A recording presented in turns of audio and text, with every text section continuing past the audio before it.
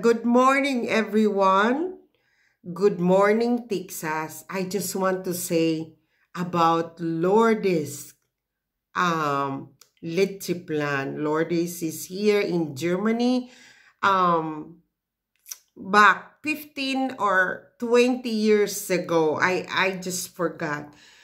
Um, really, straight from my heart. Lourdes Leche flan is the most creamiest leche flan that I taste. Um, you don't taste the smell of the egg, nothing. Um, I wish to copy that recipe.